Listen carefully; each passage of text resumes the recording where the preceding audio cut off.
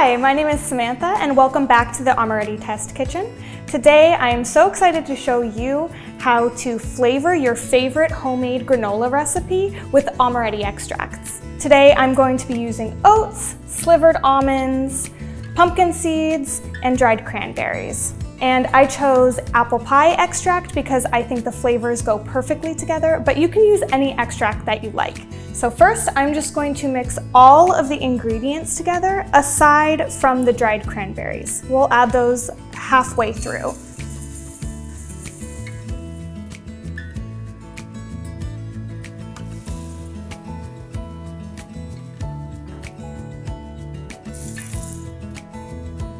Now I'm going to be adding unrefined coconut oil,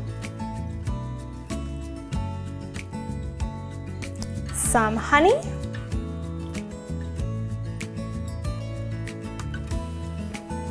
some salt, some cinnamon, and now you're going to add in your favorite extract.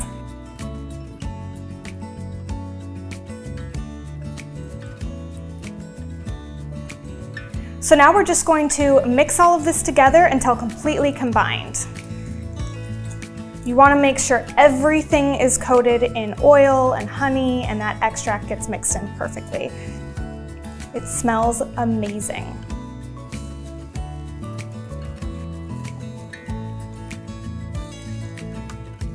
Now that you have everything mixed together, you're going to spread this out on a lined baking sheet.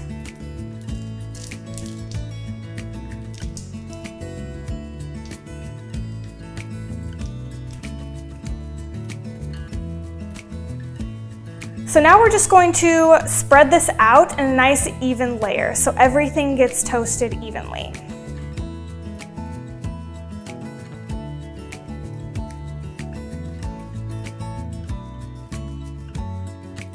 The key to making sure that it doesn't burn is to stir it throughout the baking process. So we're gonna put this in the oven for 20 minutes and then come back and stir it. Okay, so we have taken our granola out of the oven. It's been about 20 minutes. So now we're just going to stir it and add the dried cranberries.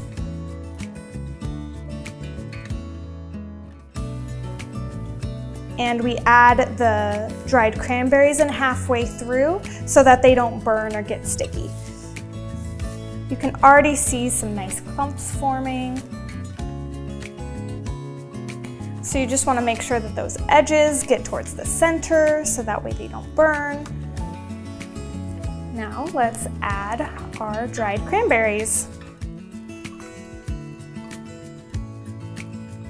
We'll just give it another quick little stir to incorporate them. These flavors go so well together. Like I said, you can use this with any extract. They're all so good. Now that we have a good mix going on, we're just going to flatten it out and stick it back in the oven for about five, 10 minutes until it gets a nice golden brown over the whole thing. Okay, now let's just stick this back in the oven. Okay, so we have taken our granola out of the oven. It is golden brown and nice and crisp. It yields about six cups, so it's perfect for families, get-togethers, a long road trip, breakfast for a snack. It's literally perfect for any occasion. Now let's transfer it into a bowl and try some.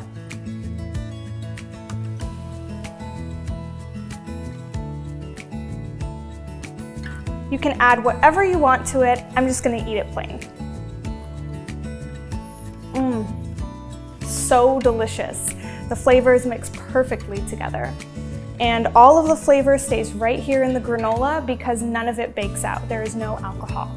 I hope you enjoyed this recipe and give it a try at home. If you do, let us know how you like it in the comments below. Also, be sure to subscribe to our channel so you never miss a recipe, tips and tricks, or customer testimonials.